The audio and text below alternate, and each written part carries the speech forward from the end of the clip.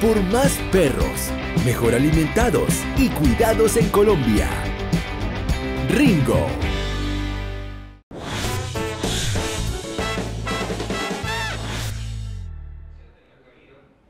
Bienvenidos a Mascotas Ahora. Hoy vamos a hablar de un tema clave para el bienestar de las mascotas. Se trata de la tenencia responsable. ¿En qué consiste? Aquí les contamos.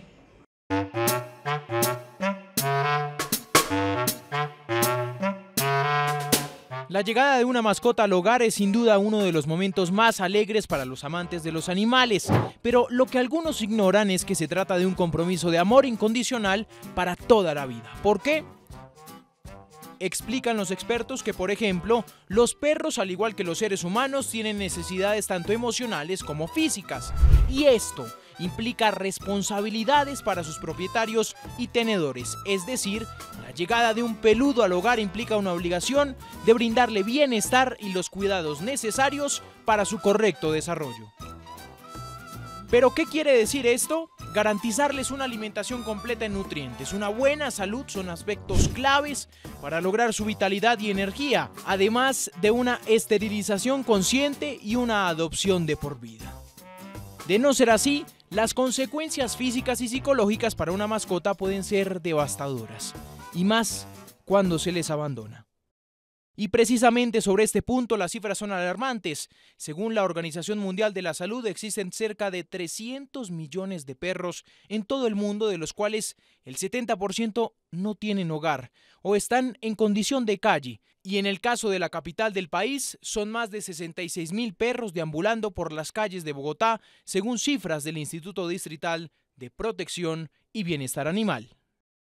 Un panorama que nos debe invitar a promover un sentido responsable al momento de adoptar un peludo, así como una pedagogía en distintos aspectos para que además de una tenencia responsable, sea un amor para toda la vida. Muy bien, y para hablar de este tema tan importante para el bienestar de nuestras mascotas, nos conectamos con Tatiana Aguayo, coordinadora de la Fundación Ruta Animal. Y arranquemos hablando, Tatiana, de este concepto de tenencia responsable. Porque a pesar de ser compromiso para toda la vida con nuestros peludos, las cifras de abandono, no solo en ciudades como Bogotá, sino en el mundo, son preocupantes. ¿Qué implica, Tatiana, una tenencia responsable? Hola Juan Camilo. Sí, lamentablemente este es un tema que se repite más y más cada vez. Em, digamos que la tenencia responsable es un grupo de condiciones y compromisos que nosotros eh, hacemos con eh, nuestro animal de compañía. Entonces, son obligaciones que debemos tener con ellos, ¿vale? Entonces, por ejemplo, darle una buena alimentación, eh, un espacio limpio, eh, pasearlo, eh, integrarlo a la familia, darle cariño, atención veterinaria, sacarlo a pasear, bueno, obviamente no maltratarlo, nada de maltrato físico ni emocional, porque a veces se nos olvida que el tema psicológico también aplica en nuestros animales. Eh, y también la libertad de expresar su condición natural como un perro o gato. Lamentablemente, en estos em, siempre se ve el, el tema del abandono y es algo que sigue ocurriendo y muchas veces tiende a ser por temas económicos, puede ser, a veces dicen que por el nacimiento de un hijo, eh, la más popular que es cambio de vivienda, esta nos escriben todo el tiempo, mira, me voy a cambiar de, de casa y no puedo eh, llevar a mi animal de compañía, eh, por temas de comportamiento del animal, tal vez no le tienen paciencia o no existe el conocimiento para tratar este tipo de mm, de temática. Eh, muchas veces las, y esto pasa más tal vez en las zonas rurales, pero los nacimientos no deseados. Entonces, debido a eso, vemos casos en los que, no sé, la gata tuvo bebés y los meten en una bolsa y lo echan a un río como para, para no lidiar con eso, o los dejan en la calle. Y eso hace que se recurra el ciclo de abandono y que los números de animales en condición de calle pues crezcan y crezcan. Digamos que en general estos son diría yo, las razones por, las que, por las que hay eh, el tema del abandono. Sí, eh, Tatiana, pero a esos, a esos factores, y hay un caso eh, pues muy común, sobre todo en épocas como la Navidad, por ejemplo, cuando las mascotas, Tatiana, se dan como regalos, especialmente a los niños. En ese momento, ¿qué deberíamos tener en cuenta? Lo número uno es entender que los animales no son cosas, entonces no hay por qué darlos como un regalo, ¿saben? El tema del regalo, eh, pues no, ya no, ¿saben? No. ¿Por qué lo decimos? Porque tener, traer a un animal a, tu hogar eh, trae muchas responsabilidades y es una decisión que no se debe tomar a la ligera. Entonces muchas veces es que le damos al niño porque él dice que quiere un gatico hace rato y bueno, démosle el gusto, como si fuera un dulce, ¿sabes? Eh, y claro, llega la familia, eh, está un ratico, eh, qué ternura, sobre todo digo, casi siempre son cachorros o gatos pequeños, ¿no? qué ternura, la foto, el niño con el, el animal, ¿no? El mejor regalo. y a los meses se dan cuenta que tener un animal es más complicado de lo que pensaban y no tienen los conocimientos o el espacio o la capacidad económica para cuidar a ese animal y los abandonan. Entonces, no quiere decir que no hay casos donde han dado un gato o un perro como un regalo y ha funcionado, ¿sí? Hay familias muy lindas que seguro tienen al animal para siempre pero en su mayoría no es así. Entonces sí tenemos que pensar antes de dar un animal, que es una decisión em, mucho más eh, seria de la que piensan y que no debe ser una cosa impulsiva para satisfacer un momento de una celebración. Tatiana, pero hablemos, por ejemplo, de los perros en condición eh, de calle, que luego forman parte eh, de nuestra familia al momento de adoptarlos. ¿Qué aspectos debemos considerar antes de tomar esa importante decisión? Claro que sí. Yo digo que lo más importante es hacerse estas preguntas. ¿Tenemos tiempo para el animal? tenemos los recursos económicos para eh, cuidar a este animal, tenemos el conocimiento, esa es otra, otra cosa muy importante. Entonces, antes que nada, pues sí, nosotros totalmente em, eh, sugerimos adoptar y no comprar. Em, lo chévere de, em, adoptar y sobre todo a través de fundaciones es que estas fundaciones o hogares de paso conocen al animal que les van a entregar, ¿sí? Entonces, primero es, ah, bueno, y les van a hacer un eh, proceso de adopción responsable. Mucha gente se queja de eso, hay tanta cosa por un animal, pero la verdad es que es una vida y esa vida importa, ¿sí? Y entonces la idea es que esa convivencia con el animal sea em, exitosa, y las probabilidades incrementan si se hace este proceso de adopción responsable, donde les van a hacer todo este tipo de preguntas. ¿Qué conocimiento tienen sobre los perros o los gatos? Em, ¿Van a poder hacerse cargo del animal si sucede un accidente y lo atropella un carro y se le partió la pierna, la pata? Entonces, todo ese tipo de cosas se las van a preguntar y son preguntas eh, totalmente importantes eh, que tanto ustedes como eh, las fundaciones, hogares de paso, tienen que tener en consideración, ¿vale? Entonces, si no tenemos tiempo para cuidar al animal, va a haber más problemas de, convivencia, puede que les vayan a hacer más daños. Un perro o un gato no se debe dejar em, más de cinco horas solo, se sugiere. Em, si no pueden pagar sus temas veterinarios como vacunas, eh, desparasitaciones, eh, pues no lo tengan. Si no tienen un conocimiento previo, tampoco. ¿Por qué? Porque aunque uno al adoptar un animal va a ir aprendiendo eh, a medida que, que está con el animal, siempre se dice que es mejor prevenir que lamentar, ¿no? Entonces, entre más conocimiento tenemos, más probabilidades va a ser que, que funcione, digamos, em, esa adopción. De todas maneras, tener en cuenta que ya una vez ustedes se comprometen con el animal, pues es para toda la vida. No es, ay, bueno, yo intenté y ya, no me funcionó. No, hagan todo lo posible para que eh, esa adopción, ese, esa integración de un nuevo miembro de la familia funcione, ¿no? Pero es que Tatiana, además hablamos de un compromiso no solamente con nuestra familia, sino con nuestra comunidad. ¿Por qué? Mm, tenemos también que entender que como seres humanos vivimos en sociedad. Entonces, solo para nosotros em, tenemos ya unas reglas que a veces están escritas y otras son simplemente pues de sentido común.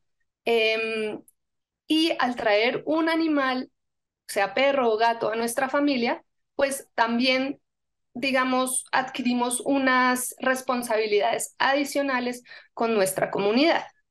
¿Vale? Entonces, por ejemplo, el tema tan básico como recoger las heces de tu animal. Pues tú no quieres ir a un parque y pisar popó por todas partes. No quieres que, que tus niños vayan a jugar a los, a los parques y, y vayan a estar rodeados eh, de orinas, de, de popó. Pues no, no queremos eso. Entonces, aparte de ser, digamos, una responsabilidad de sentido común, llamémoslo así, también es una, mm, es una ley. Si tú no recoges las heces de tu animal de compañía, pues te pueden poner una multa, ¿vale? Entonces, por ejemplo, esa. También el tema de las vacunas.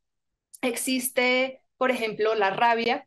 Existe en Colombia, no es muy común y afortunadamente es una enfermedad que está controlada. Sin embargo, es una enfermedad zoonótica. Significa que se puede pasar de animales a personas. Entonces es nuestra responsabilidad al tener un perro o gato eh, que lo vacunemos sobre todo con, em, contra la rabia, ¿no? Entonces así vamos a evitar que pase alguna tragedia si llega eh, nuestro animal a morder a una persona y pues que no vaya a tener ese tipo de enfermedades. Eh, otra cosa súper importante es Aquí en Colombia existe el tema de las razas de manejo especial, que las llaman también potencialmente peligrosas, pero a nosotros no nos gusta usar ese término, sino de manejo especial.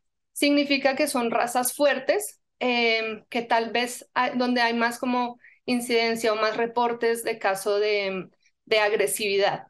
Eh, sin embargo, no quiere decir que todas estas razas como los Doberman, Pitbull, eh, Rottweiler sean animales peligrosos. Sin embargo, em, bajo el código de policía hay unas reglas que se deben seguir eh, y es sacarlos con bozal y con trailla para tal vez evitar que vaya a agredir a otro ser humano o algún animal. Em, de todas maneras, esos bozales que ustedes les compren, pues no pueden ser bozales donde ellos no puedan respirar y, y se sientan incómodos, sino bozales especiales donde ellos, donde estén protegidas la comunidad, pero ellos también puedan estar tranquilos. Entonces, esas son, digamos, tres cosas súper importantes. El tema del ruido, a veces eso es una cosa que se repite mucho en las propiedades horizontales o en los conjuntos y es que el perro ladra todo el día. Pues claro, uno no quiere vivir en un espacio donde tu vecino todo el día el perrito está ladrando. Eso lo entendemos. Entonces, eh, ahí viene a ser, ¿tengo el tiempo suficiente para dedicarle a mi perro o a mi gato? Si no lo tengo, mejor no tengan al animal, porque ni el animal lo va a pasar bien, ni usted, ni eh, sus vecinos, ¿vale? Entonces, digamos que esas son como cosas muy eh, específicas que se me vienen a la mente en estos momentos. Eh, pero la tenencia responsable, Tatiana, tiene un componente esencial y es el trato hacia, hacia estos animalitos. ¿Cuáles son los errores que acá no debemos cometer? Digamos que, eh, a ver, claramente el no educar es una es un gran error. Entonces muchas veces las personas piensan que tener un animal es solo tenerlo y ya, no, sobre todo el tema de, tener un perro, un cachorro, lo debes educar em, para, ese, para, em, para evitar ese tipo de, de malestares. Mejor dicho, que si tú sales al parque, no le vayas a saltar a todas las personas porque, digamos, le puedes saltar a un niño, eh, lo puede hacer caer o a una persona mayor. Eh, entonces son cosas que no solo son para la comunidad, sino también para ustedes. Entonces, si ustedes educan a su animal con amor, con cariño y no con maltrato, eh, pues la convivencia con ese animal será mucho más positiva y las probabilidades de que lo tengan para toda la vida incrementan. Entonces, esa es una de esas responsabilidades a las que ustedes se comprometen al adoptar o, digamos, a, tener un animal de compañía. Em, siempre debe haber reglas consistentes con los animales. Entonces, que ellos sepan qué está bien y qué está mal. Muchas veces la gente piensa que deben pegarle al animal, eso es mentira. Con un simple no y, lenguaje corporal, eh, ellos van a entender y repetir y repetir y repetir. Entonces, por eso digo que las reglas deben ser consistentes, porque si tú le dices que no se puede subir a la cama o al sofá, pero un día, ay, bueno, hoy lo voy a dejar porque tengo ganas de arrucharme con él, pues esos son Em, un lenguaje confuso para el animal eh, y va a ser más difícil que entienda cuándo sí, cuándo no, pues no nos va a funcionar. Dejarlo solo demasiado tiempo es un gran error, como ya lo he dicho varias veces. Digamos que se, no, se sugiere que no se debe dejar un animal solo más de cinco horas. Em, y si, digamos, tienen que viajar o tienen que hacer, bueno, a todos nos pasan cosas en la vida que que no estábamos planeando, pues tener, no sé, un vecino, un familiar que pueda venir a estarse con el gato o el perro, em, que lo pueda sacar, que le pueda jugar. Entonces, todo ese tipo de cosas son muy importantes. Otra, otro tema clave y que a veces no nos damos cuenta es eh, el error de humanizar a los gatos y a los perros. ¿A qué me refiero con eso? Em, pensar que los gatos o los perros somos, son, como, son como nosotros, em, mejor dicho, claramente son como nosotros en el sentido que tienen emociones, que tienen eh, sentimientos, que les duele, que son, son almas, ¿sí? Pero el tema es que las necesidades de un gato y un perro no son las mismas que las de un ser humano. Entonces, el humanizar a los animales también es un gran error.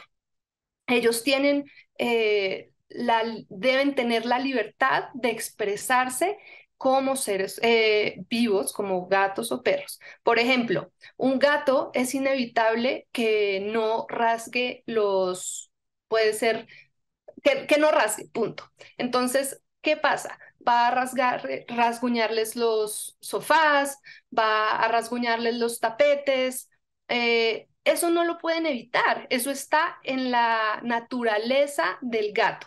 Pero entonces, ¿qué podemos hacer? Comprarles rascadores, comprarles eh, gimnasios, darles opciones para que ellos puedan expresar esa parte de su naturaleza sin que nos vaya, digamos, a afectar nuestras cosas lindas. ¿Sí? Entonces, esperar que el gato no haga eso, pues eso en cierta manera también es humanizarlo. Ay, es que yo le he dicho al gato mil veces que no lo haga, pero pues lo va a seguir haciendo. El ponerles em, vestiditos y cosas, sí, puede ser lindo y hay animales que se lo aguantan y, y se sienten tranquilos, pero también es entender que pues eso no es parte de su naturaleza y que probablemente le estés incomodando y que mejor no hacerlo, ¿sí? Que todo lo que nosotros hagamos con nuestros animales tenga una mm, como una razón de ser. Entonces, bueno, si está lloviendo y quiero sacar a mi perro, bueno, pues sí, pónganle un impermeable. Eso va a hacer eh, que el animal no se moje, esté más cómodo. Pero si solo quiero disfrazarlo de Halloween para que se vea lindo para un concurso y ustedes ven que el animal no la está pasando bien, pues no le pongan el, el, el disfraz. ¿Sí? Esos son ejemplos de varias cosas que podemos hacer. Reducirles el ejercicio o, digamos, no sacar a los animales o no jugar con los gatos. Ese es un ejemplo, por ejemplo. Em, a veces llegamos cansados a la casa, nos da pereza sacar al perro o pensamos que porque tenemos un gato no tenemos que pararles muchas bolas porque dicen que son independientes. Sí, los gatos pueden ser independientes o más independientes que los perros. Sin embargo, tenemos la responsabilidad de estimularlos física y mentalmente. Entonces, hay que jugarles, hay que consentirlos, hay que tenerles espacios eh, a menos porque ellos también necesitan em, expresar esa, esa necesidad, por ejemplo, de, de cazar, ese instinto de cazar, eh, necesitan sacar energía, eh, al igual que los perros. Entonces, esa es otra cosa súper importante, que los gatos también necesitan mucha atención, em, que a veces la gente piensa que, que no. Eh, y digamos, otra cosa súper, súper importante y un gran, eh, ¿cómo se dice?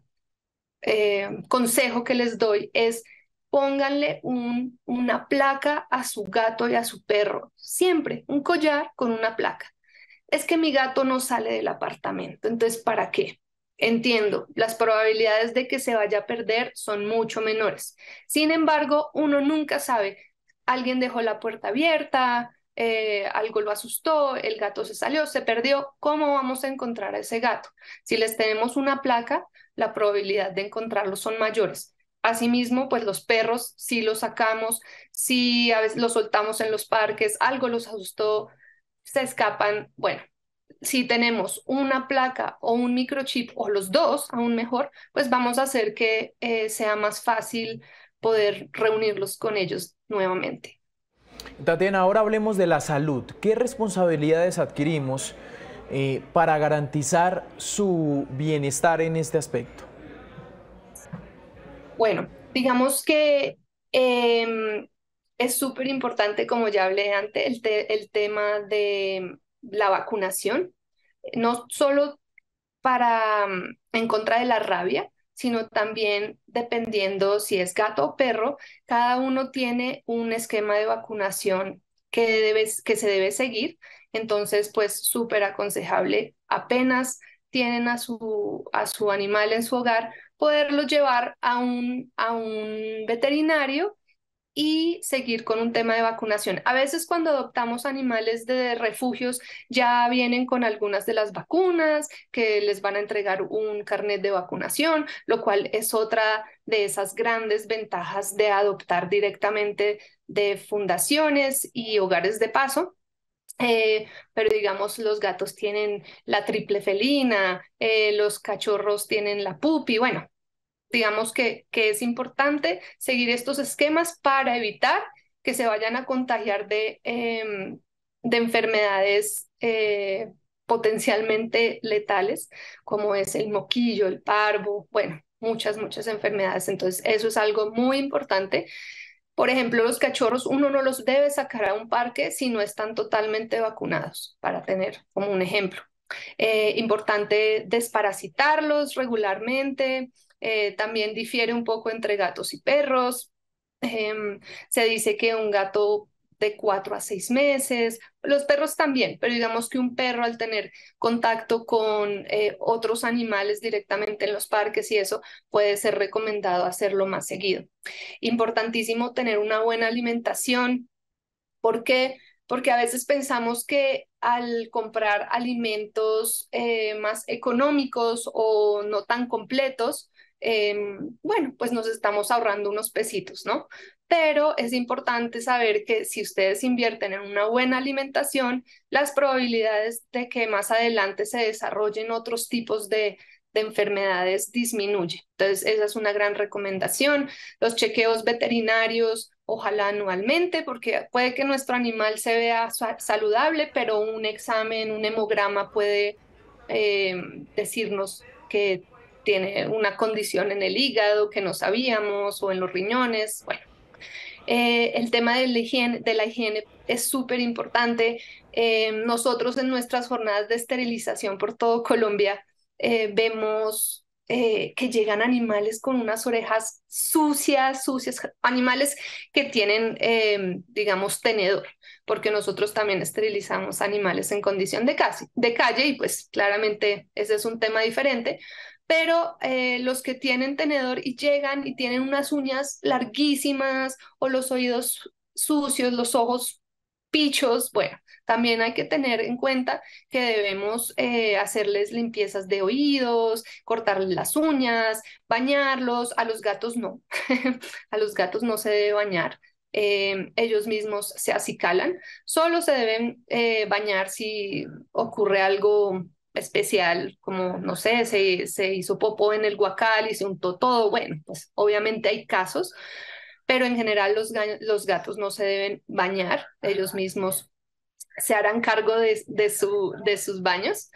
¿Y por qué? Porque también vamos a evitar que si bañamos a nuestro perro eh, le pueda dar infecciones en la piel. También hay que entender que no se debe hacer muy seguido. Entonces todo tiene como, es un poco más complicado de lo que pensamos. Sin embargo, eh, con el tema, con em, ¿cómo se dice? Como si nos, si nos preparamos antes de traer a este animal, pues vamos a saber todas esas cosas. Eh, y pues digamos que para terminar, les sugiero que se consigan unos em, seguros veterinarios, porque sabemos que el tema de, de, de, gastos veterinarios pueden ser muy altos. No todo el mundo los puede pagar eh, si llega a pasar algo grave. Entonces, teniendo un seguro, pueden em, estar, estar tranquilos de que su animal va a tener la atención necesaria y no van a tener que gastar mucho dinero em, de totazo. Eh, sí, Tatiana, muy interesante. Y ya para terminar esta entrevista, ¿qué consejo sería clave para una tenencia responsable en cuanto al comportamiento de nuestras mascotas? ¿Qué debemos tener en cuenta?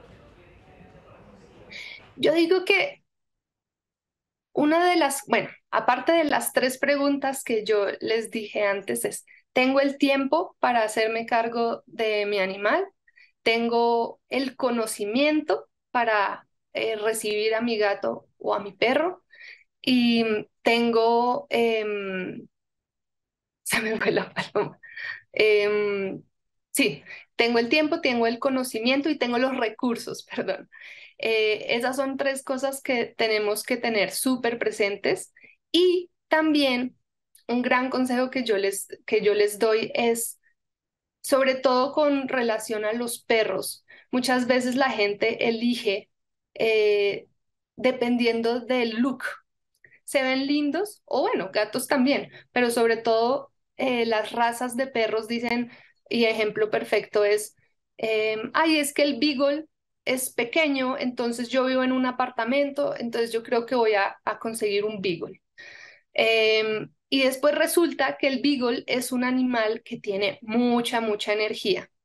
Ladran un montón y en general son animales que fueron criados para la casa, entonces necesitan espacios para correr, eh, para sacar su energía y la gente no tiene eso en cuenta y digamos que en una época los beagles eran de una, una de las razas que más Em, abandonaban y creo que es por falta de conocimiento. Entonces, siempre digo, más que el, el look del animal, más de cómo se ven, si me parece lindo o no, elijamos a un animal dependiendo de mi estilo de vida. Entonces, si somos una familia sedentaria que no nos gusta tal vez hacer mucho ejercicio, salir mucho, pues tratar de encontrar eh, animales que se adapten a ese estilo de vida, que no necesiten sacar mucho la energía, eh, que no necesiten correr tanto, porque todos necesitan salir.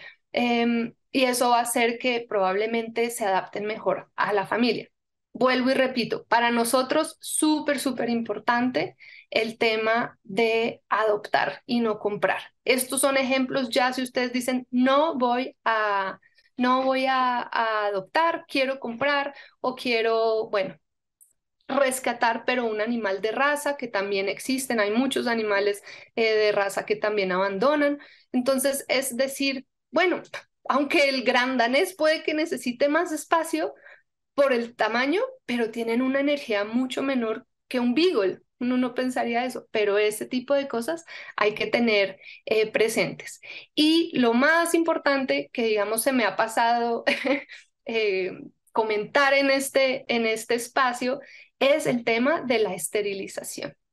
Nosotros como fundación eh, hacemos jornadas de esterilización por todo Colombia y vemos la esterilización como la manera para reducir el, abandono y la indigencia eh, y el maltrato de gatos y perros. Entonces, ustedes como tenedores de gatos o perros también tienen la responsabilidad de esterilizar a su animal de compañía para evitar que em, nuestro país eh, siga llenándose de casos tristes donde el abandono es recurrente, donde el maltrato es noticia de todos los días.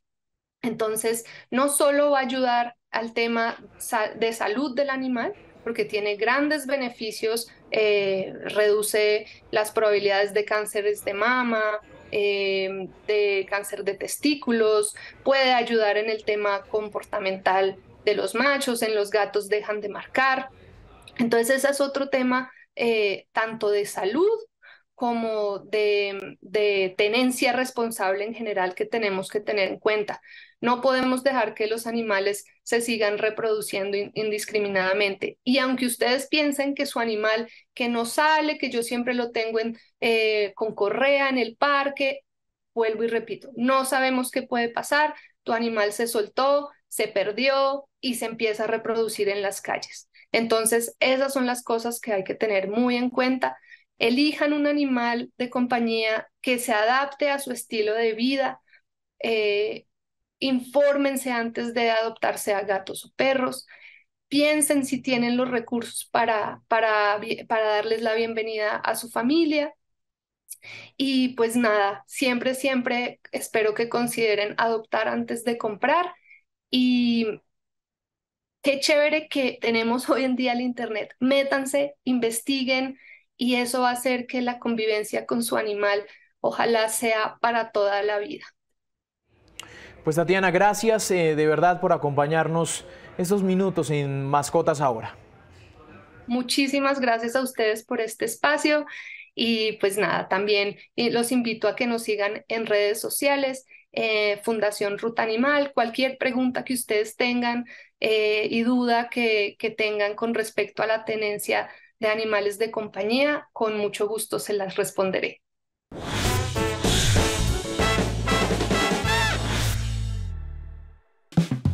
Ahora Ringo Premium es Ringo Más Pro. Digestión avanzada, Ringo Más Pro.